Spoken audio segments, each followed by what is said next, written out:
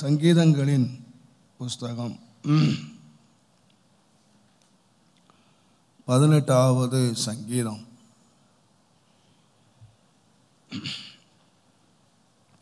முப்பத்தி ஐந்தாவது வசனத்தை நான் வாசிக்கிறேன். பதினெட்டாவது சங்கீதம்.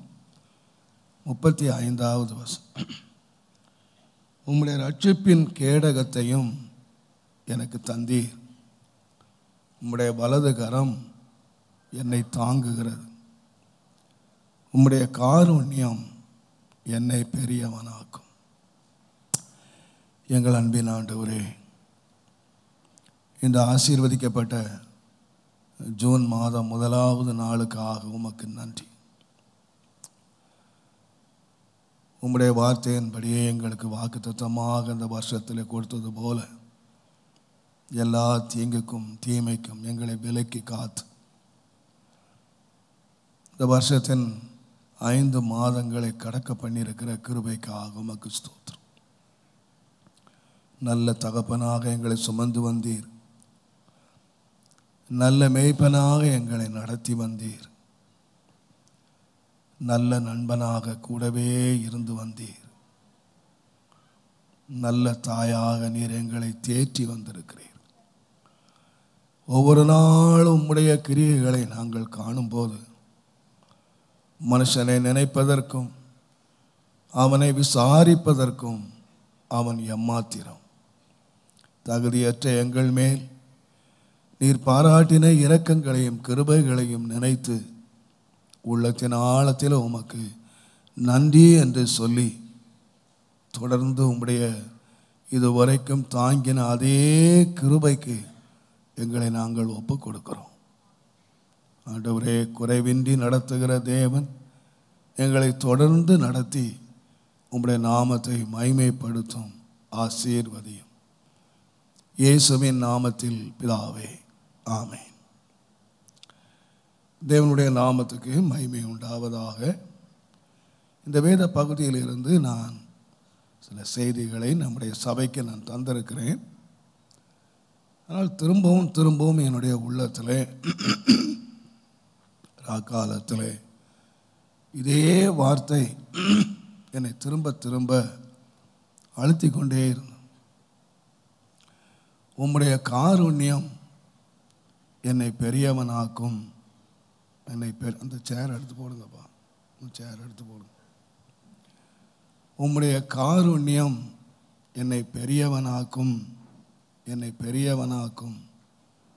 என்ற அதே வார்த்தை என்னுடைய உள்ளத்தில் திரும்ப திரும்ப தொலைத்து கொண்டே இருந்தது. உண்மையாகவே தேவன் நம்மை அழைத்தது அவருடைய காருண்யம். வேதம் சொல்லுகிறது இறைமையா தீர்க்கத்தரசியின் புஸ்தகம் முப்பத்தி ஓராம் அதிகாரம் மூன்றாவது வசனத்தை நாம் வாசிப்போமானால் பூர்வ காலம் முதல் கர்த்தர் எனக்கு தரிசனையாய் அனாதி சிநேகத்தால் உன்னை சிநேகித்தேன். காருண்யத்தினால் உன்னை இழுத்து கொண்டேன். கர்த்தர் நம்மை இழுத்து கொண்டார். ஏன் இழுத்தார் என்று சொன்னால் அனாதி சிநேகத்தால் தேவன் நம்மை சிநேகித்தார். தேவன் நம்மேல் வைத்த ஒரு அன்பை நாம் நினைத்து பார்ப்போமானால் அனாதி சிநேகம் அது அனாதி என்று சொல்லுகிறது ஆரம்பம். ஆண்டவர் நம்ம ஏதோ நம்முடைய பக்தியை பார்த்தோ அல்லது நம்முடைய ஏதோ நற்கிரியைகளை பார்த்தோ எதை பார்த்தும் தேவன் நம்மை அழைக்கவில்லை. நம்மை அதை பார்த்து நம்மை சிநேகிக்கவில்லை. அவர் நம்மேல் வைத்த சிநேகம் அனாதி சிநேகம் என்று நான் சொல்லுவேன். கத்தருடைய தாசன் ஆகிய பவுல் இந்த சிநேகத்தை அறிந்தவர். அதனால் தான் அவர் சொன்னார் உலக தோற்றத்துக்கு முன்பதாகவே என்று சொல்லி சொன்னார். அப்போ ஆகிய பவுல் எபேசியருக்கு எழுதின நிருபம். முதலாவது அதிகாரம். தயவு செய்து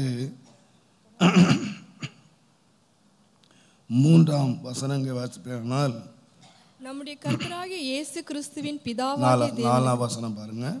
தமக்கு முன்பாக தமக்கு முன்பாக நாம் அன்பில் பரிசுத்தம் பரிசுத்தம் உள்ளவர்களும் குற்றமில்லாதவர்களுமாய் இருப்பதற்கு ம், அவர் உலக தோற்றத்திற்கு முன்னமே உலக தோற்றத்திற்கு முன்னமே கிறிஸ்துவுக்குள் நம்மை தெரிந்து கொண்டபடி நம்மை தெரிந்து கொண்டார் என்று சொன்னார் தேவன் நம்மை எப்போ தெரிந்து கொண்டு நேசித்தார் என்று சொன்னால் நாம் பிறந்த பிறகு நம்முடைய பக்தியை பார்த்து நம்முடைய ஜீவியத்திலே உள்ள நல்ல காரியங்களை பார்த்து ஆண்டவர் நம்ம தெரிந்து கொள்ளலை.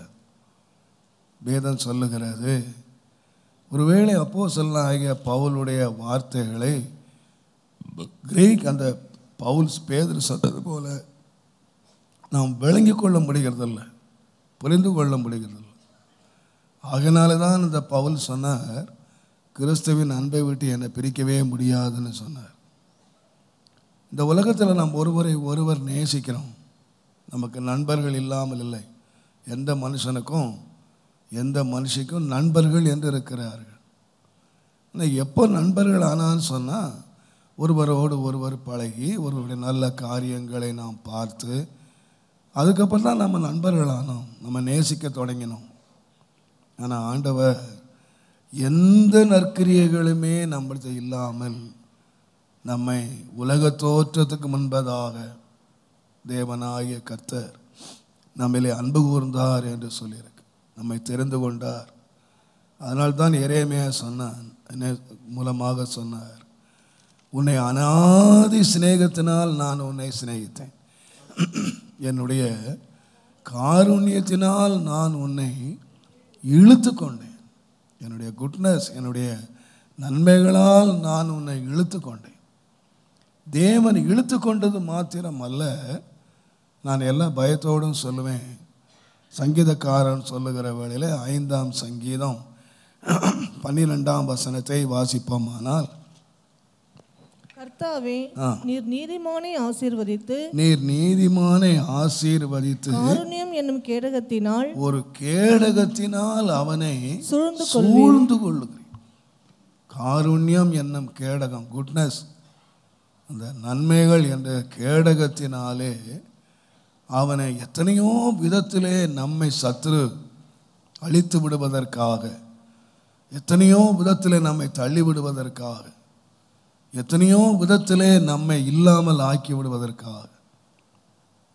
இறைமையா சொன்னது போல நாம் நிர்மூலமாகாதிருக்கிறது என்று சொல்லுகிறது போல நம்மை நிர்மூலமாக்கி ஒன்றும் இல்லாமல் ஆக்கி விடுவதற்காக எத்தனையோ சதி திட்டங்களை சத்துரு எடுத்தான்.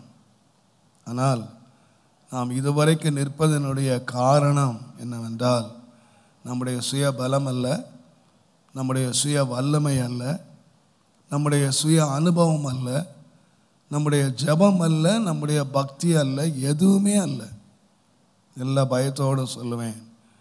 அவரை தேவன் எந்த காருண்யத்தினால் அழைத்தாரோ அதே காருண்யம் நமக்கு கேடகமாக இருந்தது என்று சொன்ன சங்கீதக்காரன் அனுபவத்தில் சொல்லுகிற வேளையில் ஆண்டவரே உம்முடைய கேடகம் காருண்யம் என்னும் கேடகனால் என்னை சூழ்ந்து கொள்ளுகிறீர்.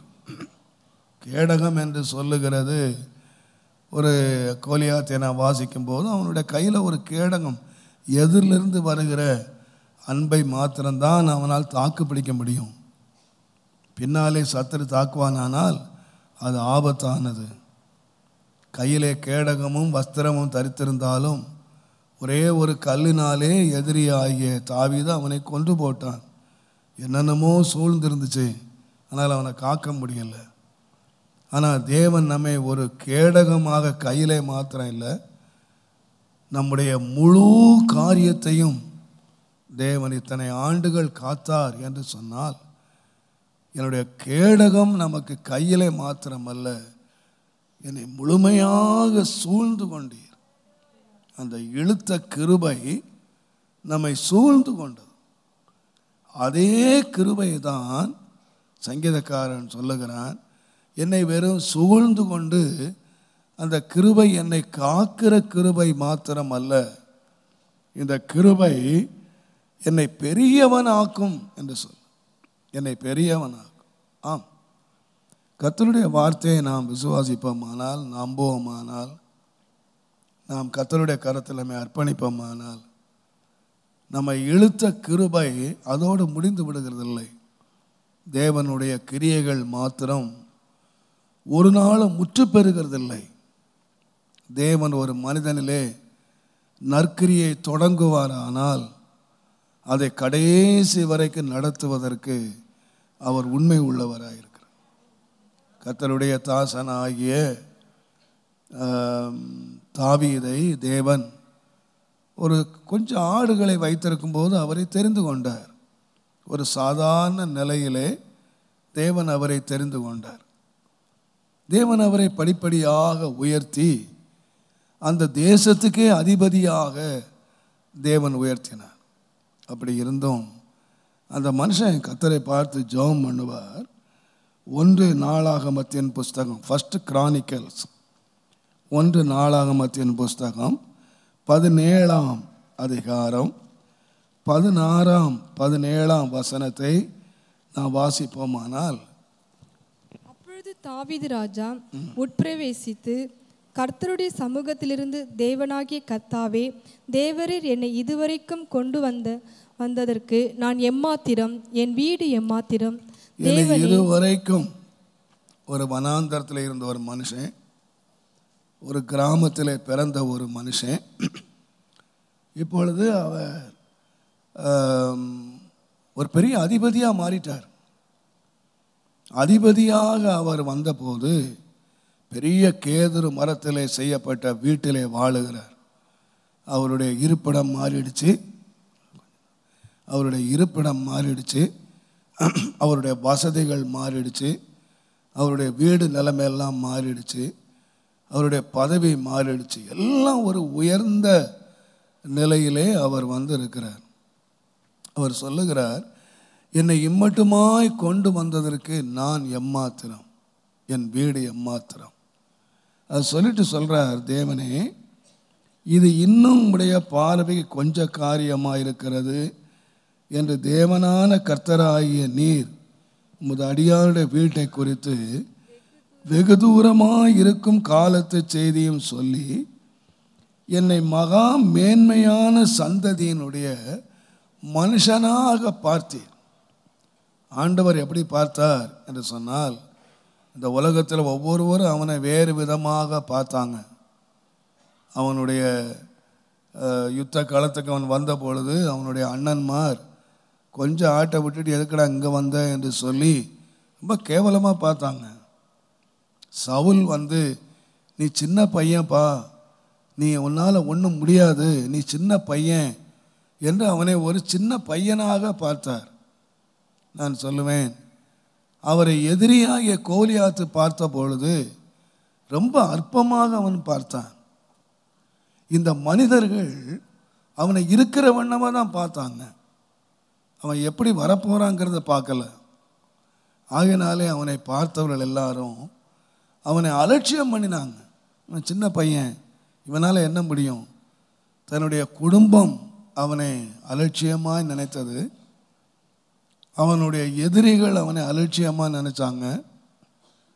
அவருடைய மாமனார் அவரை அற்பமாக நினைச்சாரு.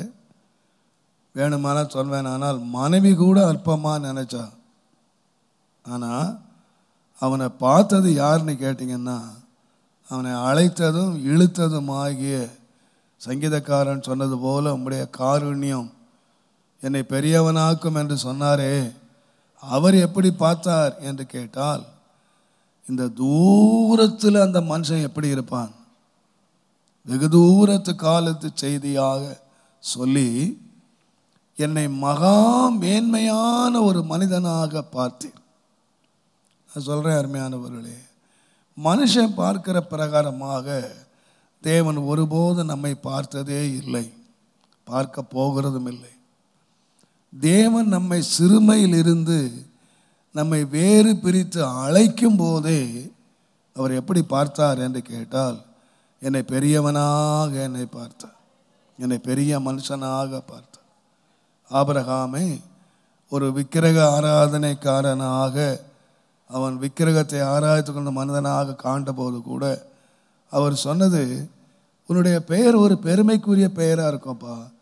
நீ பெரிய மனுஷனாக ஒரு பெரிய தேசத்துக்கு அதிபதியாக ஒரு பெரிய தேசத்தை ஆளுகிறவனாக இருப்பாய் என்றுதான் தேவன் அவரை அழைத்தார்.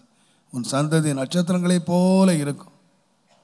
தேவனுடைய அழைப்புக்குள்ளே அவருடைய காருண்யம் நம்மை அழைத்தது உண்மையானால் அந்த காருண்யம் நம்மை ஆரம்பித்த கிரியை முடிவு என்னன்னு கேட்டிங்கன்னா நம்மை பெரியவனாக்கிறது தான் ஆண்டவருடைய கிருபை.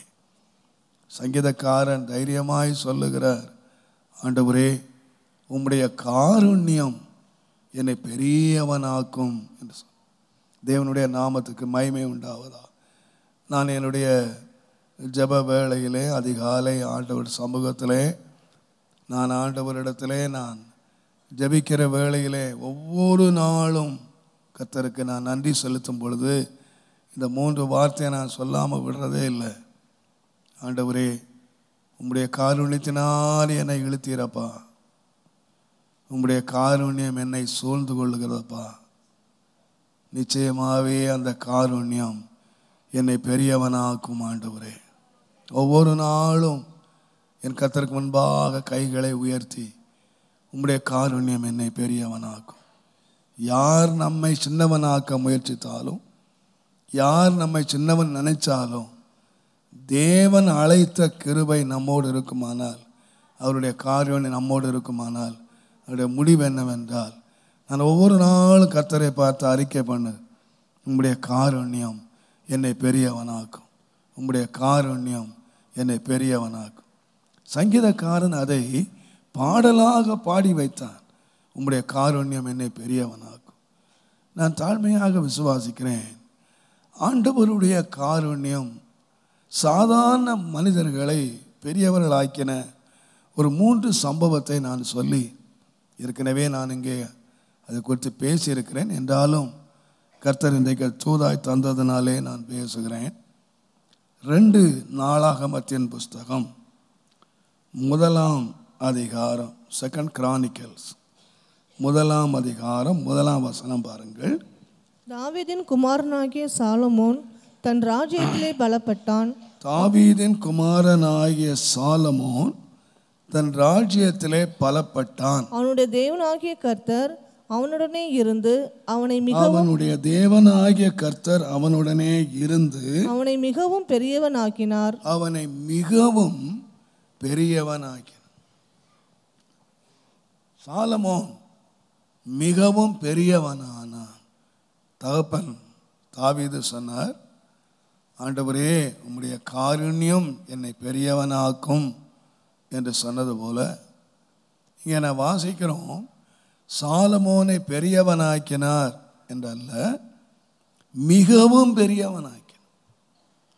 எப்படி பெரியவனாக்கினார்? என்று சொன்னால் அவனுடைய ராஜ்யத்திலே அவனை ஸ்திரப்படுத்தினார் பலப்படுத்தினார்.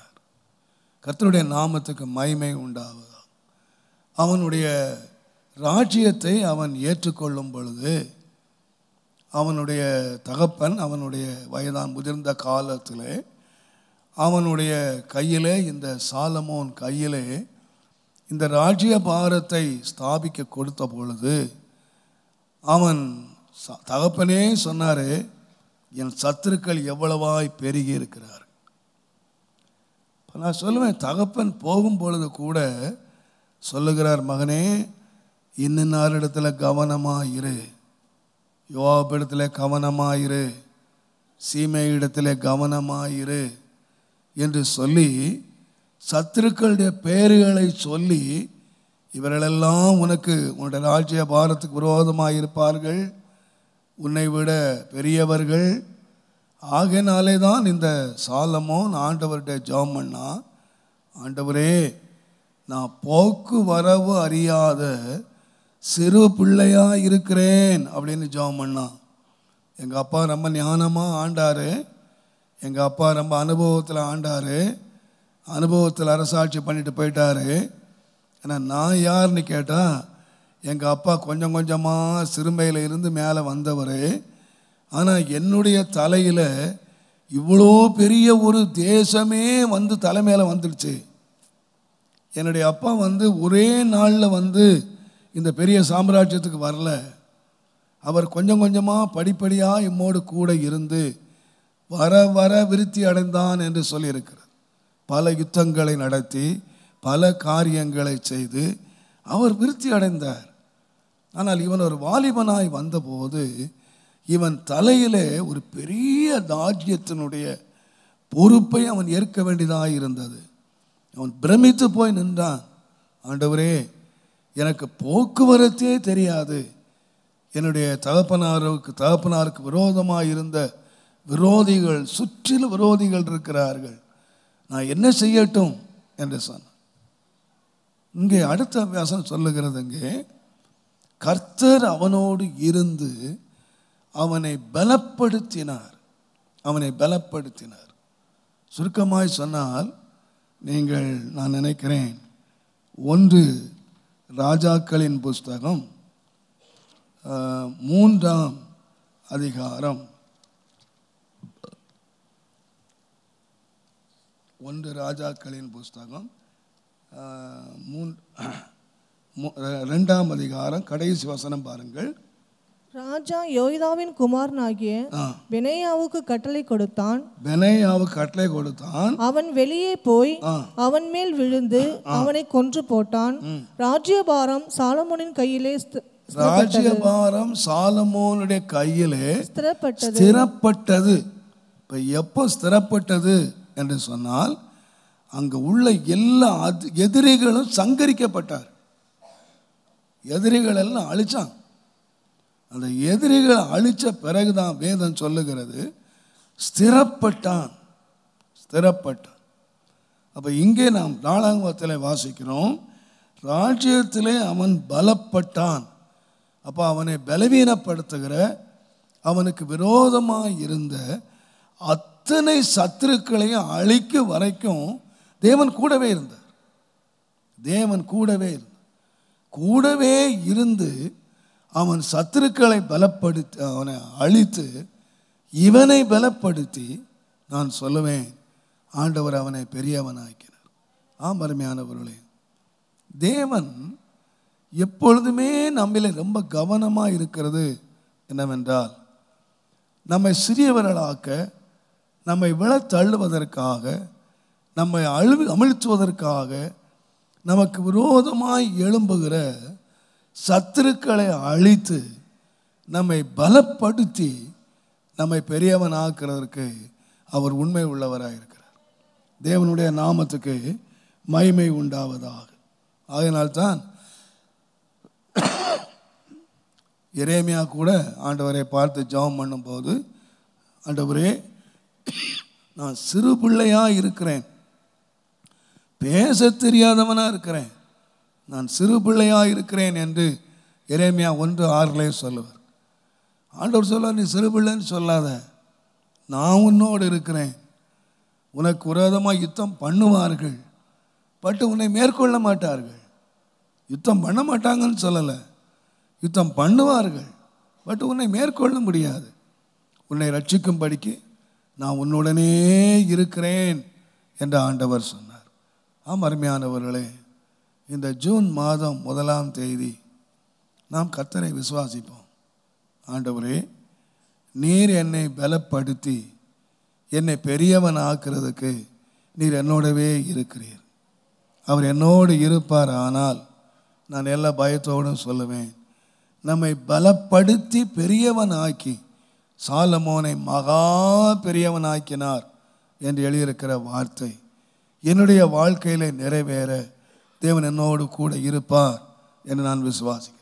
ஆகையினாலே தான் நீங்கள் யோசுவாவினுடைய வாழ்க்கையை நீங்கள் பார்க்கும் பொழுது யோசுவாவின் புஸ்தகம் முதலாம் அதிகாரம் ஐந்தாம் வசனத்தை நீங்கள் வாசிப்பீர்களானால் யோசுவா ஒன்று ஐந்தை பாருங்கள். நீ உயிரோடு இருக்கும் நாளெல்லாம்.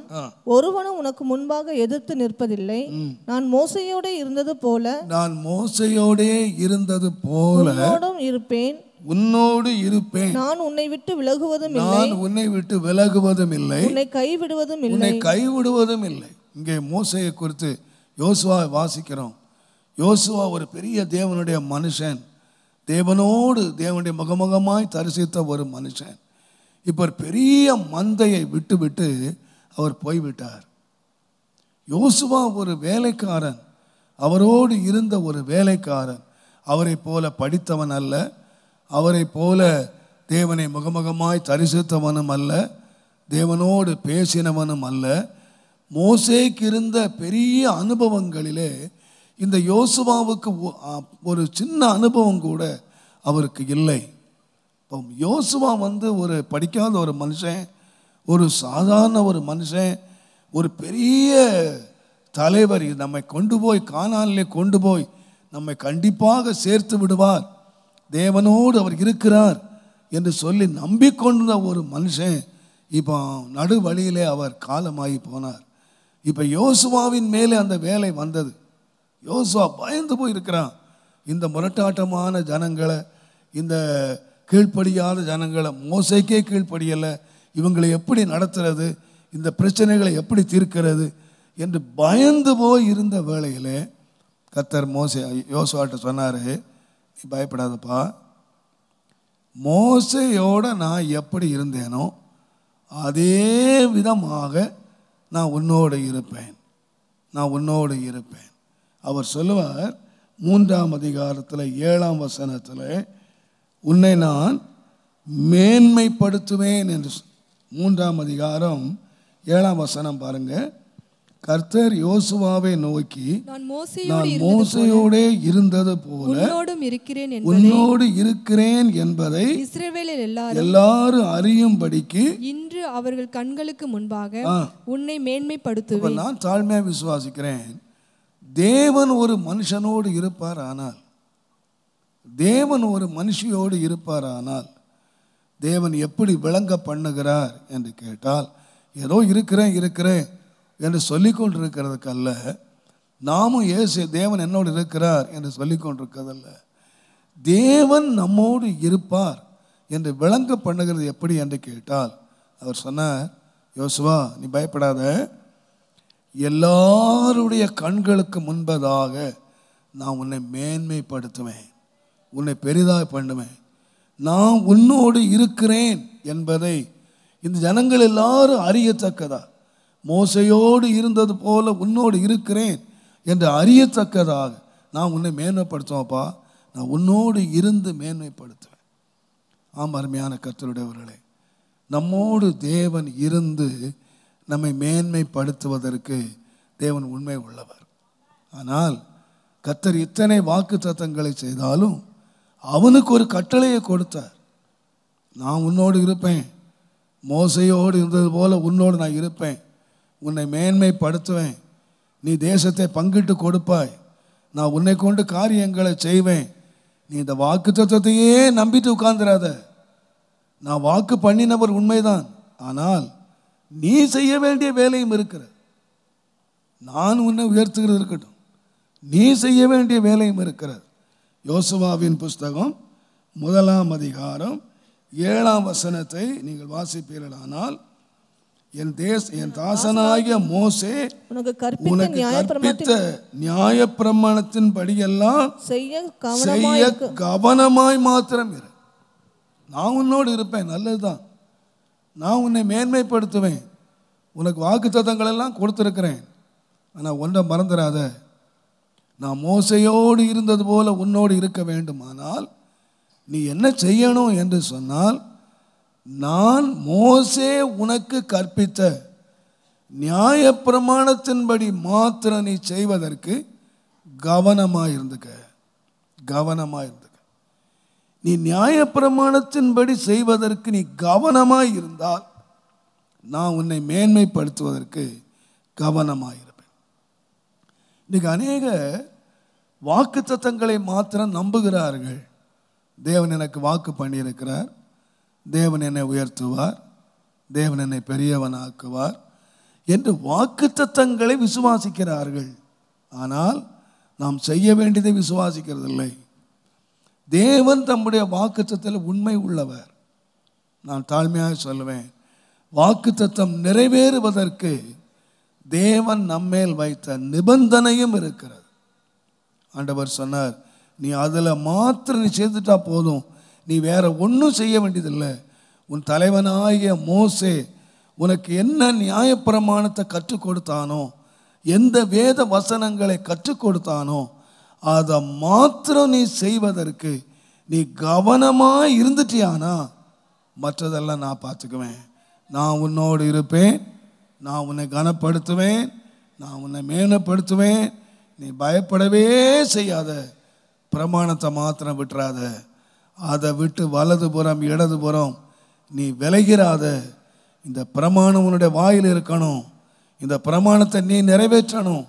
அதனால்தான் அந்த மனுஷன் கடைசியில் முடியும் போது சொன்னார் எல்லா ஊழியத்தையும் முடிச்சுட்டு கடைசியாக சொன்னார் நீங்கள் எப்படி நினைக்கிறீர்கள் தெரியாது ஆனால் ஒன்று தெரியுமா நானும் என் வீட்டாரும் கர்த்தரையே சேவிப்போம் என்று த லாஸ்ட் ஃபைனல் வரைக்கும் அந்த மனிதனுடைய கடைசி காலம் வரைக்கும் அந்த மனுஷன் எதை சேவித்தார்னு கேட்டிங்கன்னா கர்த்தரை சேவித்தார். அவர் மாத்திரம் அல்ல தன்னுடைய வீட்டாரையும் அந்த சேவைக்குள்ளே கொண்டு வந்தார். தன்னுடைய தான் மாத்திரம் இல்லை மோசையினுடைய பிரமாணத்தை தான் கற்றுக்கொண்டு அதன்படி நடந்தது மாத்திரம் அல்ல.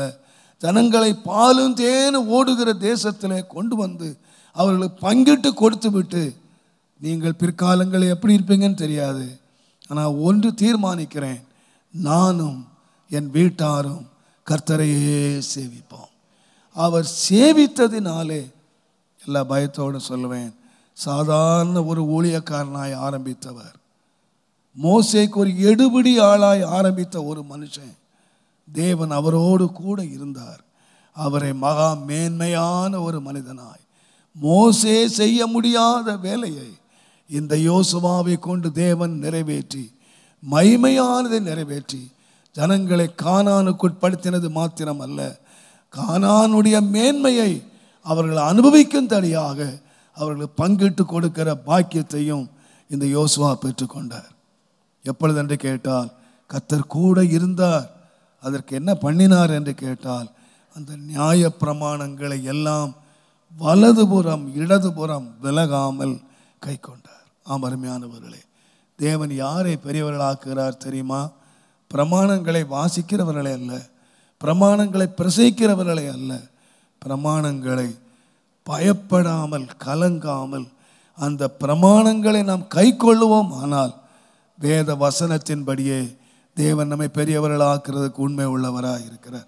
அவருக்கே கனமும் அவருக்கே மகிமையும் அவருக்கே துதியும் உண்டாவதாக. ரெண்டாவதாக ஒரு மனுஷனை நாம் வாசிக்கிறோம். ஆதி ஆகமத்தின் புஸ்தகம் இருபத்தி ஆறாம் அதிகாரம் பதிமூன்றாம் வசனத்தை பாருங்கள்.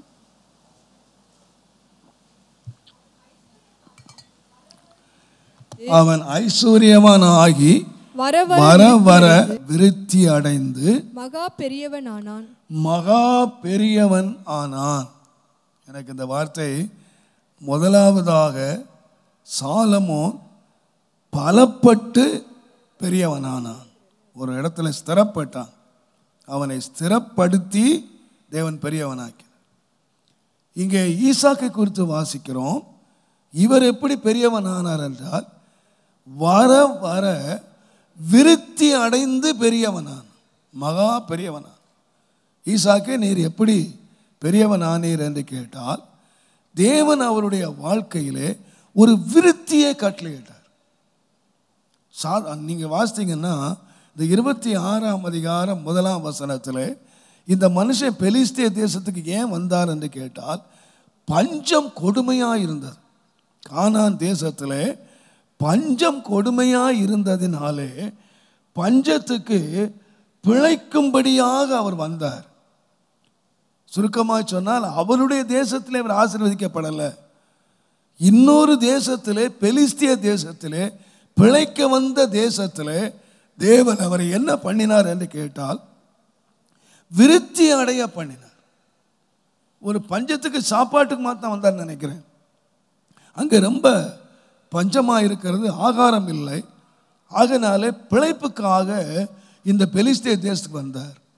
ஆனால் பிழைக்க வந்த தேசத்திலே தேவன் என்ன செய்தார் என்று சொன்னால் அவரை வர வர விருத்தி அடைந்து அவனை பெரியவனாக்கினார்.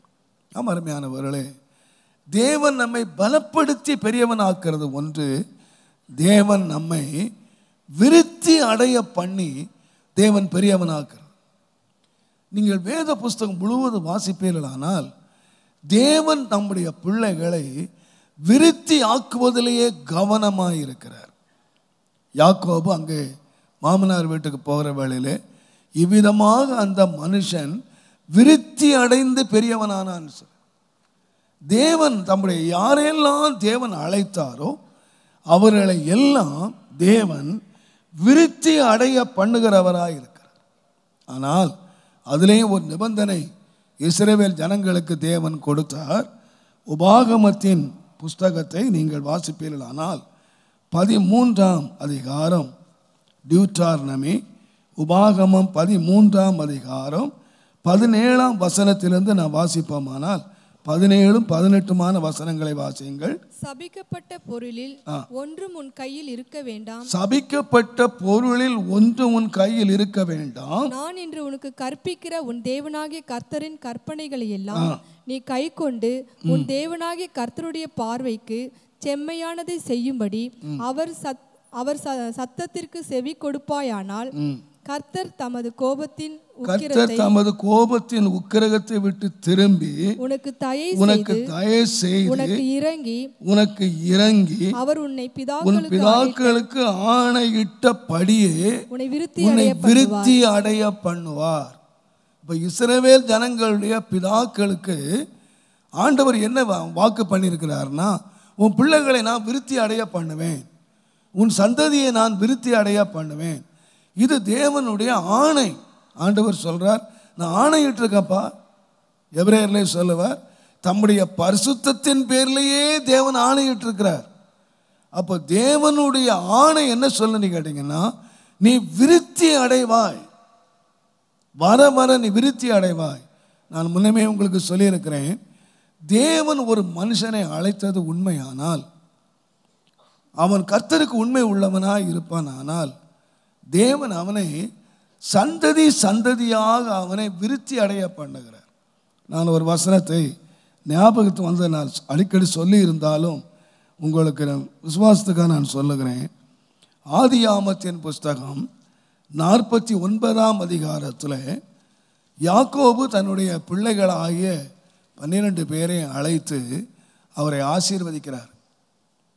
பதினோராவது மகனாகிய யோசேப்பை கத்தர் ஆசீர்வதிக்கும் பொழுது அவர் சொல்லுவார் ஆதியாமத்தின் புஸ்தகம் நாற்பத்தி ஒன்பதாம் அதிகாரம் இருபத்தி ஆறாம் வசனத்தை வாசித்து பார்த்தால் உன் தகப்பனுடைய ஆசீர்வாதங்கள் என் பிதாக்களுடைய ஆசீர்வாதங்களுக்கு மேற்பட்டதாய் இருந்து நித்திய பர்வதங்களின் முடிவு மட்டும் எட்டுகின்றன. எல்லாம் கவனிங்க. அவர் சொல்றதுங்க சரியா விளங்கணும். உன் தகப்பன் யாரு? யோசேப்புக்கு தகப்பன் யாரு? அவர்தான். அவர் ஆசீர்வதிக்கிறாரு. அவர் தான் பிள்ளைய பார்த்து சொல்றாரு உங்க அப்பாவுடைய ஆசீர்வாதம். உங்க அப்பான்னா நான் தான்ப்பா யாக்கோபு சொ- சொல்றாரு. உன் தகப்பனுடைய ஆசீர்வாதம் அவனுடைய அப்பா. அவனுடைய அப்பா யாரு? ஈசாக். ஈசாக்கினுடைய ஆசீர்வாதத்துக்கு மேற்பட்டதாய் இருந்து நித்திய பர்வதங்கள் வரைக்கும் எட்டுகிறது. அப்போ உங்கள் அப்பா ஆசீர்வாதம் எவ்வளோ இருந்துச்சு கேட்டிங்கன்னா எங்கள் அப்பா ஆசீர்வாதத்தை விட எங் என்னுடைய ஆசீர்வாதம் அதிகமாக இருந்துச்சு. அதே ஆசீர்வாதம் யார் மேலே வரும்னா ஓ மேலே வரும். இப்போ ஆபரகாமுடைய ஆசீர்வாதம் அதைவிட அதிகமாக விருத்தி அடைந்து ஈசாக்கின் மேல் வந்தது. ஈசாக்கு விட அதிகமான ஆசீர்வாதம் நித்திய பர்வதங்கள் வரைக்கும் எட்டுகிற அளவுக்கு அவருடைய ஆசீர்வாதம் அதை விட ஜாஸ்தி வந்தது. இப்போ இவர் சொல்கிறாரு யோசேப்பே உன் மேலே அதே ஆசீர்வாதம் என்ன ஆசீர்வாதம்னா வளர்கிற விருத்தி அடைகிற ஆசீர்வாதம். நான் சொல்லுவேன் நாம் மட்டும் உண்மையாக கர்த்தருக்கு உண்மையாக இருப்போமானால் நாம் அனுபவிக்கிற ஆசீர்வாதத்தை காட்டிலும் நம்முடைய பிள்ளைகள் அதிகமான ஆசீர்வாதம் உள்ளவங்களாக இருப்பாங்க. நிச்சயமாக இருப்பாங்க. அவனுடைய சந்ததி எப்படி இருக்கும்னு கேட்டிங்கன்னா அவனை காட்டிலும் அதிகப்படியாக அவன் இருப்பான். த ஜெனரேஷன் பை ஜெனரேஷன் சந்ததி சந்ததியாக நிச்சயமாக எப்படி இருப்பாங்கன்னு கேட்டிங்கன்னா விருத்தி ஆகிட்டே போயிட்டே இருப்பாங்க. ஏன்னு கேட்டால் ஆணையிட்டு இருக்கிறேன் நான் உன்னை ஆணையிட்டு இருக்கிறேன் என் ஆணையிட்டபடியே நீ வந்து எப்படி இருப்பாய் என்று கேட்டால் நீ விருத்தி ஆவாய் ஆமாம் அருமையானவர்களே நாம் கொடுக்குற ப்ராமிஸ் எல்லாம் அழிஞ்சு போகும் நம்மோட. ஆனால் தேவன் ஆயிரம் தலைமுறை மட்டும் தன்னுடைய ஆணை உறுதியை காக்கிறவராக உண்மை உள்ளவராக இருக்கிறார். ஆனால் அவர் என்ன சொன்னார் என்று கேட்டால் நான் உன்னை விருத்தி அடைய பண்ணி உன்னை செய்யணும். ஆனால் உன் மேலே நான் வந்து தய வச்சு உனக்கு இறங்கி உன் பிதாக்களுக்கு ஆணையிட்ட ஆணையை நான் நினைக்கணுமானா? நீ ஒன்று செய்யணும். உன்னுடைய பிதாக்கள் என்ன செய்தாங்கன்னு கேட்டிங்கன்னா அந்த அசுத்தமானதெல்லாம் விட்டுட்டு என் பின்னால் வந்தாங்க. நீங்கள் என்ன செய்யுங்க என்று கேட்டால் சபிக்கப்பட்ட பொருளிலே ஒன்றையும் உன்னோட வைக்காத. நீ சபிக்கப்பட்ட பொருளை உன்னோட வைத்திருப்பாய் ஆனால் நான் வந்து உன்னை நினைக்க முடியாது. நான் உன்னை விருத்தியாக்க முடியாது. நான் உன்னை விருத்தி ஆக்கணுமானால் சபிக்கப்பட்ட பொருட்கள் ஒன்று இராதபடி பார்த்துக்க. ஆம் அருமையானவர்களே. தேவன் நம்மை விருத்தி அடைந்து தேவன் பெரியவர்கள் ஆக்கிறதுக்கு உண்மை உள்ளவராக இருக்கிறார். நான் எல்லா பயத்தோடும் தாழ்மையோடும் சொல்லுவேன். அதற்கு முன்பதாக நம்ம விருத்தல் முன்பதாக நம்முடைய கையை தேவன் விரும்புகிறார். நம்முடைய கையில் சபிக்கப்பட்ட பொருட்கள் ஒன்றுமில்லாதபடி. நீங்கள் நினைக்கிறீங்க கத்த யாக்கோபை அழைத்த பொழுது நீ படுத்திருக்கிற பூமியை நான் உனக்கு தருவேன். நான் உன்னை ஆசீர்வதிப்பேன். அப்படின்லாம் சொன்னார். அவர் வந்த பெரிய விருத்தி அடைந்து வந்துட்டார். ஆனால் உண்மையாக அவர் எப்போ ஆசீர்வதிக்கப்பட்டார் என்று சொன்னால் ஒரு நாள் ஆண்டவர் யாக்கோபை அழைச்சார். யாக்கோபே நீ வந்து எனக்கு என்ன ப்ராமிஸ் பண்ண? என்று சொன்னால் இந்த கல்லை நட்டு இந்த கல் தேவனுடைய வீடாகும். என்று நீ பொருத்தனை பண்ணி கொண்டு வந்தாய். நீ பொருத்தனை பண்ணின. அந்த பொருத்தனை நினைச்சு பார்த்தியா? என்று சொல்லி பொருத்தனையை ஆண்டவர் ஞாபகப்படுத்தினார். நீங்கள் வாசித்து பார்த்தீர்களானால் ஆதியாகமத்தின் புஸ்தகம் தயவு செய்து முப்பத்தி ஐந்தாம் அதிகாரத்துக்கு நீங்கள் வருவீர்களானால் அந்த பொருத்தனையை ஆண்டவர் ஞாபகப்படுத்துகிறார். அவன் மறந்துட்டான். விருத்தி அடைந்த போது அந்த கல்லை நட்டிட்டு வந்தான். தேவன் தன்னை சந்தித்த இடத்துல கல்லை நட்டி இந்த கல் தேவனுக்கு வீடாகும் என்று சொல்லி சொல்லிட்டு வந்தவன் இப்போ அதை மறந்துட்டாரு. இவன் மறந்து ஞாபகப்படுத்தின பொழுது அவர் ஜனங்கள் எல்லாரையும் கூப்பிட்டுட்டு தான் கல்லை நட்டின இடத்துக்கு திரும்பி வந்தார். அங்கே வந்தீங்கன்னா வேதம் சொல்லுகிறது மூன்றாம் வசனத்தை நீங்கள் வாசித்தீங்கன்னா ரெண்டாம் வசனம் பாருங்க. அப்பொழுது யாக்கோபு அப்பொழுது யாக்கோபு தன் வீட்டாரையும் தன் வீட்டார் கூட இருந்த மற்ற அனைவரையும் தன்னோடு இருந்த மற்ற அனைவரையும் நோக்கி உங்களிடத்தில் இருக்கிற அந்நிய தெய்வங்களை உங்களிடத்தில் இருக்கிற அந்நிய தெய்வங்களை விலக்கி போட்டு உங்களை சுத்தம் பண்ணி சுத்தம் பண்ணி கொண்டு வஸ்திரங்களை மாற்றி இதுவரைக்கும் அந்த ஆள் சொல்லலை. இதுவரைக்கும் யாக்கோப் அப்படி சொல்லலை. இப்போ தேவனுக்கு ஆராதனை செய்ய வர்றார். தேவன் தேவனுக்கு தேவனுடைய ஆலயம் ஆக்குவேன்னு சொன்ன இடத்துக்கு வர்றார். வரும்போது சொல்லுகிறார் பாருங்கள் நம்ம இப்போ தேவனை ஆராதிக்க போகிறோம். தேவனுக்கு முன்பாக போகிறோம். தேவனுடைய பொருத்தனை செலுத்த போகிறோம். அங்கே போகிறக்கு என்ன செய்யணும்னு கேட்டிங்கன்னா அப்போ இதுவரைக்கும் அந்த பிரயாணத்தில் கூடவே என்ன வச்சுருக்காங்கன்னு கேட்டிங்கன்னா அந்நிய தெய்வங்களை கூட வச்சுருக்காங்க. தேவன் வெறுக்கிற காரியங்களை இன்னும் கூட வச்சுக்கிட்டே தான் தேவன் பிரயாணம் பண்ணுறாங்க ஆனால் தேவன் காக்கிறார். தேவன் அவர்களை பாதுகாக்கிறார். தேவன் நடத்துகிறார். எல்லாம் நடந்துக்கிட்டு இருக்கு. ஆனால் அவங்க விருத்தி ஆகலை. இங்கே வந்து வேதம் சொல்லுகிறது நீங்கள் நாலாம் ஐந்தாம் வசனங்களை வாசிப்பீங்கன்னா தேவன் அவர் அவர்கள் வந்து அந்த இடத்துல வந்து தங்கள் கையில் இருந்த அக்கினி அக்க கையில் இருந்த விக்கிரகங்களெல்லாம் எடுத்து தங்கள் கையில் இருந்தவைகளெல்லாம் எடுத்து அவர்கள் பல் கருவாலி மரத்தின்களை புதைத்தார்கள். இப்போ தான் பாருங்கள் ரெண்டாவது முறையாக தேவன் தரிசனமானார். நீங்கள் ஆதியாமத்தின் புஸ்தகம் முப்பத்தி ஒன்பதாம் அதிகாரம் தேவனுடைய நாமத்துக்கு மகிமை உண்டாவதாக ஒன்பது ஒன்பதாம் வசனத்தில் பாருங்கள் யாக்கோபு பதான் அராமிலிருந்து வந்த பின்பு தேவன் அவனுக்கு மறுபடியும் தரிசனமாகி அவனை ஆசீர்வதி எப்போ ஆசீர்வதிச்சாரு? நீ கீழே வாசித்தீங்கன்னா இனிமேல் உன் பெயர் இஸ்ரவேல் சொல்லப்படும்.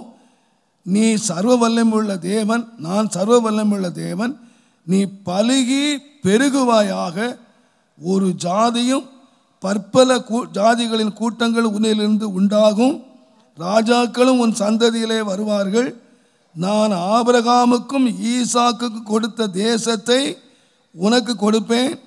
உனக்கு பின் உன் சந்ததிக்கும் இந்த தேசத்தை கொடுப்பேன். எப்போ கொடுப்பேன்னு சொன்னார்? அப்பாவுடைய ஆசீர்வாதம் எப்போ கொடுப்பேன்னு சொன்னார்? தன் கையில் இருந்த அக்கிர விக்கிரகங்களை தூக்கி துற போட்டான். தன்னை சுத்தம் பண்ணி கொண்டார்கள்.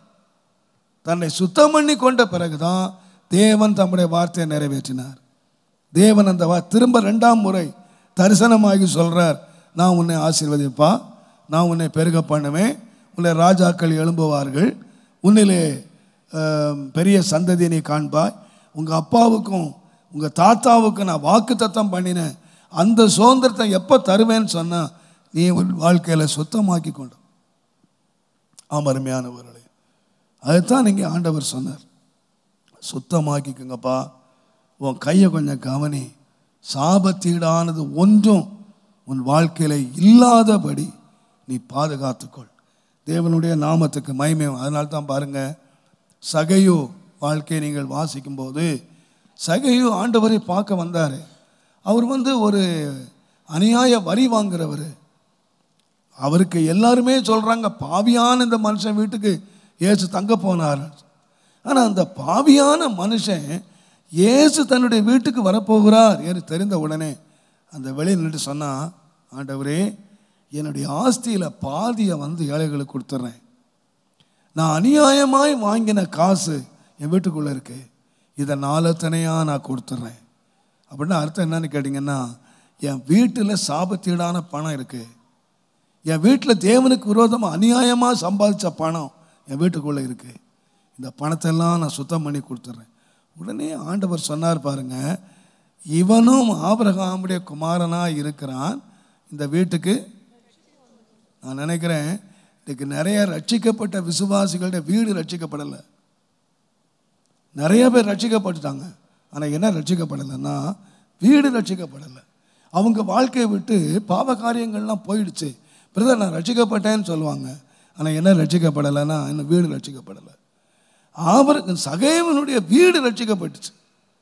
இந்த நீ ரட்சிக்கப்பட்டான்னு சொல்லலை. உன்னுடைய வீடு ரட்சிக்கப்பட்டுச்சு. வீட்டை விட்டு நீ அக்கிரமத்தை விளக்குனாய். நீ அக்கிரமத்தை விளக்கும்போது நீ ஆபிரகாமுடைய குமாரன். இப்போ நான் சொல்லுவேன் இந்த நீங்கள் ஆபரகாமுடைய குமாரன் என்று சொல்லுகிற வேளையில் நீங்கள் ஆதியாமம் இருபத்தி நாலாம் அதிகாரம் முப்பத்தி ஆறாம் வசனத்தை நீங்கள் வாசித்தீங்கன்னா அந்த வேலைக்காரன் சொல்லுகிறான் ஆபிரகாமுக்கு முதிர் வயதிலே ஒரு குமாரன் பிறந்தான். ஆபிரகாம் தனக்கு உண்டான எல்லாவற்றையும் தன் குமாரன் கொடுத்துருக்கிறார். அப்போ குமாரன்னு சொன்னால் யாரு கேட்டிங்கன்னா தகப்பனுடைய ஆசீர்வாதத்துக்கு பங்குதாரன். அப்போ இவன் எப்போ ஆபிரகாம் குமார்னா? இவன் பாவி. உலகத்தாரால் பாவி என்று போற்றப்பட்டவன். ஆனால் எப்போ அந்த பங்குக்கு சொந்தக்காரன் ஆயிட்டான்னு கேட்டிங்கன்னா தன்னை பரிசுத்தம் பண்ணி கொண்டவன். தன் வீட்டில் இருந்து அகற்ற வேண்டியது அகற்றினான். தன் வாழ்க்கையிலிருந்து அகற்ற வேண்டியது அகற்றினான். தன் கையில் இருந்து அகற்ற வேண்டியது அகற்றினான். நீ சாபத்தீடானதை அகற்றிடுவாயானால் நான் உன்னை விருத்தி அடைய பண்ணி உன்னை பெரியவனாக்குவேன். மூன்றாவதாக எஸ்தரின் புஸ்தகம் ஒன்பதாம் அதிகாரம். நாலாம் வசனம் பாருங்க சீக்கிரம். மொர்தெகாய் ராஜாவின் அரண்மனையில் பெரியவனாய் இருந்தான். அவனுடைய கீர்த்தி எல்லா நாடுகளிலும் பிரசித்தமாயிற்று. அவனுடைய கீர்த்தி எல்லா தேசங்களிலும் பிரசித்தமாயிற்று. இந்த மொர்தெகாய் என்பவன் மொர்தகாய் என்று சொல்லுகிறவன் மேன்மேலும் பெரியவனா மென்மேலும் பெரியவனானான். நல்லா கவனிங்க. எனக்கு ரொம்ப இந்த வார்த்தை எனக்கு எனக்கு இந்த மூணு வார்த்தை இந்த பெரியவனானான் என்று சொல்கிறத காட்டிலும் எனக்கு அந்த மூன்று வார்த்தை ரொம்ப வித்தியாசமாக இருந்தது. பலப்பட்டான் விருத்தி அடைந்தான். மூன்றாவதாக இந்த முருதகாயை பற்றி சொல்லியிருக்கு. அவனுடைய கீர்த்தி ஏங்க வாசிக்க சொன்னாதான் வாசிப்பீங்களா? கையில் தானே வச்சுக்கிறீங்க? எல்லா நாடுகளிலும் அவனுடைய கீர்த்தி எல்லா நாடுகளிலும் யார் அவன்? முருதகா யாரு? ஒரு வாசல்ல கிடந்த ஒரு சாதாரண மனுஷன். இந்த சாதாரண மனுஷனை ஆண்டவர் என்ன பண்ணார் என்று கேட்டிங்கன்னா அவனுடைய தீ கீர்த்தி நூற்றி இருபத்தி ஏழு தேசத்தில் பரவிச்சு. ஹண்ட்ரட் அண்ட் டுவெண்ட்டி செவன் நூற்றி இருபத்தேழு தேசத்துக்கு ஒரு சாதாரண வாசல்ல கடந்த ஒரு மொர்தகாய ஆண்டவர் தூக்கி எங்கே கொண்டு போனார்னு கேட்டிங்கன்னா அவனுடைய கீர்த்தி தேசம் எல்லாம் பரவிடுச்சு. நான் சொல்லுவேன் இன்றைக்கி இந்த மூன்று வார்த்தை நீங்கள் மனதில் வச்சுக்கோங்க. கர்த்தர் பலப்படுத்தினார் கர்த்தர் விருத்தி அடைய பண்ணினார் கர்த்தர் அவனுடைய கீர்த்தியை பெருக பண்ணினார். அவன் கீர்த்தியை பெருக பண்ணும் பொழுது அவன் யாராக மாறிட்டான்னு கேட்டிங்கன்னா பெரிய மனுஷனாக மாறிட்டான். நூற்றி இருபத்தேழு தேசத்தில் முருதகாய் யார் என்று அவனுக்கு தெரியும். நான் நினைக்கிறேன் தேவனுடைய நாமத்துக்கு மகிமை உண்டாவதாக இந்த முருதகாயை ஆண்ட உயரத்திற்கு முன்பதாக இந்த ஜனங்கள் யார் என்று கேட்டால் நீங்கள் மூன்றாம் அதிகாரம் எஸ்தர் மூன்றாம் அதிகாரம் எட்டாம் வசனத்தில் அந்த ஆமான் சொல்லுகிறான் நம்முடைய தேசமெங்கும் ஒரு ஜனங்கள் சிதறுண்டு பரம்பி இருக்கிறார். அப்போ அவன் ஜனங்களும் யார் தான் ஒரு சிதறப்பட்ட ஜனங்கள் தான். ஒரு சாதாரண ஜனங்கள் தான். சாதாரண ஜனங்களிலிருந்து வந்த ஒரு சாதாரண மனுஷனை ஆண்டவர் நூற்றி இருபத்தேழு தேசத்தில் அவனுடைய கீர்த்தியை பரவுவதற்கு ஆண்டவர் அவனை உயர்த்தினார். எதனாலே உயர்த்தினார்? நான் சொல்லுவேன் அவன் சாதாரண மனிதனாக இருந்தாலும் ஒரு கடைநிலை ஊழியக்காரனாக இருந்தாலும் ஒரு முதன்மையான ஒரு உயர்த்தப்பட்ட ஒரு பெரிய அதிகாரிக்கு முன்பாக அவன் யாரா நின்றான்னு கேட்டிங்கன்னா ஒரு யூதனாய் நின்றான். தனக்கு அறிந்த சத்தியத்தை தனக்கு கொடுத்த அந்த வேத பிரமாணத்தை அவர்கள் யாருக்கும் அவன் சொன்னால் அவன் ஏன் என்ன வணங்குறது இல்லைன்னு சொன்னான் அவன் யாருன்னா யூதன். ஒரு யூதன் யாருக்கும் தலை வணங்க மாட்டான். இன்னொரு விதமாக நான் சொல்வேன் ஆனால் அவன் அறிந்த சத்தியத்துக்கு உண்மை உள்ளவனாக இருந்தான். அவன் அறிந்த கட்டளைக்கு உண்மை உள்ளவனாக இருந்தான். அந்த உண்மை அவனை என்ன கொண்டு போச்சுன்னு கேட்டிங்கன்னா அவனை நூற்றி இருபத்தேழு தேசத்துக்கு கீர்த்தி அடைய பண்ணிட்டு நான் சொல்வேன் அருமையானவர்களே கர்த்தர் நமக்கு சத்தியத்தை வெளிப்படுத்தி கொடுக்கிறார். தேவன் நமக்கு சத்தியங்களை வசனங்களை உண்மைகளை வெளிப்படுத்தி கொடுக்கிறார். நான் சொல்லுவேன் அந்த சத்தியங்களுக்கு நீங்கள் உண்மை உள்ளவர்களாக இருப்பீர்களானால் நான் இயேசுவின் நாமத்தில் தாழ்மையாக சொல்லுவேன் தேவன் உங்களை கீர்த்தியை பரம்ப பண்ணுகிற தேவனாக இருக்கிறார். கர்த்தருடைய நாமத்துக்கு மயமே உண்டா? நீங்கள் ஆதியா நீங்கள் அப்போஸ் நம்ம பார்த்தீங்கன்னா வசனங்களை ஒன்றான வாசித்து இருந்தீங்கன்னா ஒவ்வொன்று சொல்லியிருக்கு வசனம் விருத்தி அடைந்து பெருகினது. அப்போ இவங்க பேரெல்லாம் எங்கே வெளியே போச்சுன்னு கேட்டிங்கன்னா ஏன் பேதவனுடைய பேர் வெளியே போச்சுன்னு கேட்டிங்கன்னா அவங்க சொன்ன வார்த்தை என்னாச்சு? விருத்தி அடைஞ்சது. அவங்க வார்த்தை பெருகிச்சு. நான் இயேசுவின் நாமத்திலே சொல்லுவேன் இன்றைக்கு ஆண்டவர் யாருடைய கீர்த்தியை பெருக பண்ணுகிறார் என்று கேட்டால் நம்முடைய கீர்த்தி அல்ல தேவன் தம்முடைய கீர்த்தியை பெருக பண்ணுகிறார். நாம் தம்முடைய பிள்ளைகள் நாம் யூதர்கள் நாம் தேவனுடைய பிள்ளைகள் நாம் தேவனுடைய பிள்ளைகளாக தேவனுடைய பட்சத்தில் நாம் நிற்போமானால் நம்மை கொண்டு தேவன் தம்முடைய கீர்த்தியை அவர் தேசமெங்கும் பரம்போதற்கு உண்மை உள்ளவராயிருக்கிறார். நம்மை அந்த கீர்த்தியின் மூலமாக தேவன் நம்மை பெருக பண்ணுகிறார். நீங்கள் வேத வசனம் முழுவதும் வாசித்து பார்த்தீங்கன்னா ஒரு அடிமையாய் வந்த ஒரு தானியேல் தன்னை ஒரு யூதனாக நிலைநிறுத்தினான். எக்காரணம் கொண்டும் இந்த விக்கிரங்களுக்கு படைக்கப்பட்ட ஆகாரத்தை நம்ம சாப்பிடக்கூடாது. அது ராஜபோஜனமாக இருக்கலாம். ராஜா நம்ம கொடுக்குற ஆகாரமாக இருக்கலாம். ஆனால் ராஜ போஜனத்துக்கு முன்பாகவும் நாம் யாராக இருக்கணும்னு கேட்டிங்கன்னா கத்தோடைய பிள்ளையாக நிற்கணும் தன்னுடைய கீழான நிலைமையிலே கூட எவ்வளோ பெரிய மரியாதைக்குள்ள ஆகாரம் கொடுக்கப்பட்டாலும் அவங்க நின்னாங்க. அவனுடைய முடிவு என்னன்னு கேட்டிங்கன்னா அவங்க கீர்த்தியை தேவன் பெருக பண்ணினார். தேவனுடைய நாமத்துக்கு மகிமை உண்டாவது ராஜாவே கட்டளை கொடுத்தான். இந்த அறுபது முழ உயரத்துக்கு முன்பாக சிலைக்கு முன்பதாக நீங்கள் பணிந்தான் இந்த அக்கினிக்கு தப்பலாம் என்று சொன்னார். அவங்க சொன்னாங்க தேவன் எங்களை தப்புவிப்பார் தப்புவிக்காமல் இந்த அக்னியிலே செத்தாலும் சரி சாவோம். எக்காரணம் கொண்டும்? எங்களுக்கு அறிந்த சத்தியத்தை எங்களுக்கு அறிந்த உண்மையை எங்கள் பிதாக்கள் எங்களுக்கு போதித்த வசனங்களை நாங்கள் விட்டு விட்டு பணியவே மாட்டோம் என்று சொன்னார்கள். எத்தனை நூற்றுக்கணக்கான ஆயிரக்கணக்கான ஆண்டுகளாக நீங்களும் நானும் இந்த சாத்ராக் மேஷாக் ஆபேத் நேகோ என்கிற தேவனுடைய பிள்ளைகளை அறிவதற்கு காரணம் என்னவென்று கேட்டால் நிமிர்ந்து நின்றார்கள். தானியல் நிமிர்ந்து நின்றார். அப்படி இல்லாமல் இருந்திருக்குமானால் இன்னைக்கு தானியல் யார் நமக்கு தெரியாது? சாத்ராக் மேஷாக்கு யார் என்று நமக்கு தெரியாது. தேவனுடைய நாமத்துக்கு மைமை உண்டாவதாக. அதே போல யோசப்பை எடுத்து பாருங்கள். அவன் போய் இன்னொரு ப்ரமோஷனுக்காக ஒரு எளிதான ஒரு ப்ரமோஷனுக்காக அவன் வருகிறது. அவன் சொன்னான் நான் தேவனுக்கு பயப்படுகிற மனுஷன். எங்கள் அப்பா எனக்கு கற்றுக் கொடுத்துருக்கிறார். எனக்கு வே தேவ பயத்தை கற்றுக் கொடுத்துருக்கிறார். நான் தேவனுக்கு விரோதமாக பாவம் செய்வது எப்படி? என்று பாவத்துக்கு முன்பாக நிமிர்ந்து நின்றான். அவனுடைய முடிவு தான் இன்னைக்கு நம்ம ஜோசப் யாருன்னு அறிஞ்சு வச்சிருக்கோம். அவனுடைய கீர்த்தி இன்றைக்கு பல தேசங்களில் எங்கேயோ ஒரு எகிப்தில் எத்தனையோ ஆயிரக்கணக்கான ஆண்டுகளுக்கு முன்பாக நடந்த ஒரு கீர்த்தியை இன்றைக்கு ஒரு இந்து தேசத்தில் ஒரு இந்தியாவில் இத்தனை ஆண்டு காலங்கள் அவருடைய கீர்த்திகளை நாம் அறிவதற்கு காரணம் என்னன்னு கேட்டிங்கன்னா அவங்க நிற்க வேண்டிய இடத்துல நின்றாங்க. நிமிக்க நிமிர்ந்து நிற்க வேண்டிய நின்றாங்க. சத்தியத்துக்காக நின்றாங்க. வசனத்துக்காக நின்றாங்க. கத்தருடைய பட்சத்தில் நின்றாங்க. இன்றைக்கு தேவன் நம்முடைய கீர்த்தியை பெருக பண்ணணும்னா நம்ம முதுகெலும்புள்ளவர்களாக இருக்க வேண்டும். நாம் அறிந்த சத்தியத்துக்கு தேவன் நமக்கு வெளிப்படுத்தின சத்தியத்துக்கு இன்றைக்கு நாம் அநேக சத்தியங்களை நாம் கேட்கிறோம்.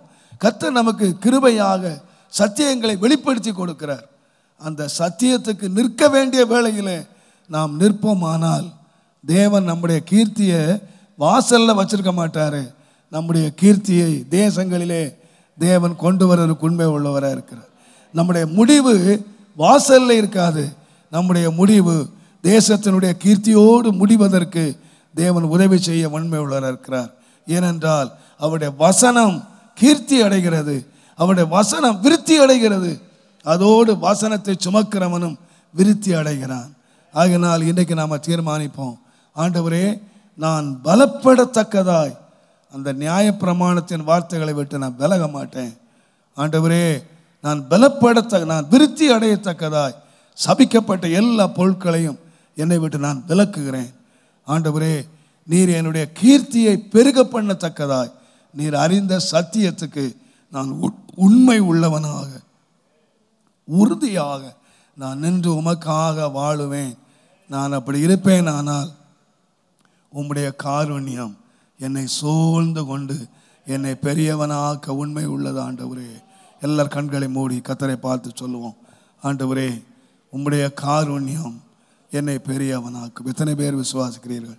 வாயை திறந்து சொல்லுங்க. உம்முடைய கபாரியா அந்தலாஷ் அந்துலாரியா. எல்லா வாயை திறந்து சொல்லுங்க. உம்முடைய காருண்யம் என்னை பெரிய ஓ கபாரியா அம்பலபர தலாரி அம்பலா சந்தலாரியா வாயை திறந்து அறிக்கை பண்ணுங்க. உம்முடைய காருண்யம் என்னை பெரியவன் ஆக்கும் ஆண்டவரே என்னை அனாதி சிநேகத்தால் சிநேகித்து காருண்யத்தினால் என்னை இழுத்தீர் ஆண்டவரே. உம்முடைய காருண்யம் என்னை சூழ்ந்து கொள்ளும் ஆண்டவரே. உம்முடைய காருண்யம் என்னை பெரியவனாக்கும். உம்முடைய காருண்யத்தினால் நான் பெரியவனாவேன். நான் மகா மேன்மையான மனுஷனாக என்னை பார்த்தவரே. நீர் எப்படி பார்த்தீரோ? கபாபல தலபர துரப சந்தல கபௌரியா இந்த ஜூன் மாதம் முதலாவது நாளிலே நான் விசுவாசிக்கிறேன். என்னை பெரியவனாக்கிற உடைய காருண்யம். என்னை பெரியவனாக்கிற உடைய காருண்யம். நீங்கள் பார்க்கிறபடி அல்ல. நம்முடைய சத்துருக்கள் பார்க்கிறபடி அல்ல. நம்முடைய நண்பர்கள் நம்மை பார்க்கிறபடி அல்ல. தேவன் நம்மை பார்க்கிறபடியாக. தேவன் நம்மை மகா மேன்மையான மனுஷனாக. மகா மேன்மையான மனுஷியாக. ஓ ரப தலவர தலவர தலவர தல உபபதல வரதல வஷபபதல வரதலாரிய நிபபதல தலவர தலவ வசபபல தலாரிய நிபபதல வரதல வரதல வரதல வரதலாரிய Hallelujah. Hallelujah. Hallelujah. Hallelujah. Hallelujah. Hallelujah. Hallelujah. அன்பின் ஆண்டவரே அன்பின் ஆண்டவரே அன்பின் ஆண்டவரே எங்கள் அன்பின் ஆண்டவரே அன்பின் ஆண்டவரே நீர் சொன்ன வார்த்தையை நான் மனப்பூர்வமாக நான் சொல்லியிருக்கிறேன் ஆண்டவரே. உங்களுடைய வசனம் ஒரு நாள் விருதாவாய் போகிறதில்லை. இந்த வசனம் இந்த ஜனங்கள் மத்தியிலே நூறு மடங்காய் பலன் கொடுக்கத்தக்கதாய். இன்றைக்கு இந்த வசனத்தை நீர் பக்குவப்படுத்தி இந்த ஜனங்கள் மத்தியிலே நீர் பலன் கொடுக்கிற வசனமாய் மாற்றுவீரா நிச்சயமாய் நூறு மடங்கு இது பலன் கொடுக்க வேண்டும். ஜனங்கள் விருத்தி அடைய வேண்டும். ஜனங்கள் பலப்பட வேண்டும். அவர்களுடைய கீர்த்தி பரவ வேண்டும். அவர்கள் கீர்த்தி பரவ வேண்டும். பல நாடுகளிலே கீர்த்தி பரவ வேண்டும். நீங்கள் விசுவாசியுங்கள். என்னுடைய கீர்த்தியை தேவன் பல தேசங்களிலே கேட்கப்பட போகிறார். ஒரு சாதாரணமான எங்கேயோ ஒரு வாசல்லே கிடந்த உன்னுடைய கீர்த்தியை தேவன் பல தேசங்களிலே கேட்கும்படி பல தேசங்களிலே உன்னை பேசும்படி பல தேசங்களிலே அறியும்படி தேவன் என்னுடைய கீர்த்தியை பரவ பண்ணுகிறார். என்னுடைய கீர்த்தி பல தேசங்களிலே பரவ போகிறது. தேவன் என்னுடைய ஊழியத்தை என்னுடைய தொழிலை தேவன் என்னுடைய பெயரை என்னுடைய கீர்த்தியை பெருக பண்ணுகிற ஒரு மாதம். அலலோயா அலலோயா அலலோயா என்னுடைய உள்ளத்தில் மறுபடியும் மறுபடியுமாக உன்னுடைய கீர்த்தியை நான் பெருக பண்ணுவேன். உன்னுடைய கீர்த்தி அது உங்களுடைய தொழிலாக இருக்கலாம் உங்களுடைய கையின் கிரியாக இருக்கலாம். நீங்கள் இதுவரைக்கும் உங்கள் கீர்த்தி கேள்விப்பட்டதை காட்டிலும் இந்த மாதத்தில் இருந்த உங்களுடைய கீர்த்தியை பல இடங்களிலே கேள்விப்பட போகிறார்கள். பல இடங்களிலே நீங்கள் கீர்த்தி உள்ளவர்களாய் மாறப்போகிறீர்கள். தேவன் வர்த்திக்க பண்ணி தேவன் உங்களை பெரிய மனிதர்களாக. அன்பின் ஆண்டவரே உங்களுடைய வார்த்தையை நான் விதைத்திருக்கிறேன். இதை விளைய பண்ண செய்கிறவர் நீர் ஆண்டவரே. நிச்சயமாய் இதிலே ஒரு வார்த்தையும் தரையிலே விழுந்து விடாதபடி இது அத்தனையும் பலன் கொடுத்து ஒரு பெரிய அறுவடையை அடியான் காணத்தக்கதாக. தெய்வமே அனுக்கிரகம் செய்யும்படி. பிதா குமாரன் பரிசுத்தாவின் திரியேக நாமத்திலே. ஆண்டவரே இந்த வசனத்தை கேட்கும்படிக்கு கூடியிருக்கிற ஒவ்வொருவர் மேலும் இந்த வசனத்தை அங்கங்கே உட்கார்ந்து கேட்டுக்கொண்டிருக்கிற ஒவ்வொருவர் மேலும் இந்த வசனம் தொடர்ந்து கேட்க போகிற மக்கள் மேலும் பிதா குமாரன் பரிசுத்தாவின் திரியேக நாமத்திலே. இந்த வசனத்தின்படி கொடுத்த அத்தனை ஆசீர்வாதங்களும் ஆண்டவரே அவர் விருத்தி அவர்களாக அவர்கள் பலப்பட்டு பெரியவர்கள் ஆவார்களாக ஆண்டவரே அவர்கள் கனப்படுத்தப்படுவார்களாக. உமக்கு ஸ்தோத்திரம் ஆண்டவரே உமக்கு ஸ்தோத்திரம். நீர் அப்படியே செய்து பெயர் வழங்க பண்ணுவீராக. உம்முடைய நாமத்தை நீர் மகிமைப்படுத்தும் ஆசீர்வதியும் ஆசீர்வாதமாக்கும். இயேசுவின் நாமத்தில் பிதாவே.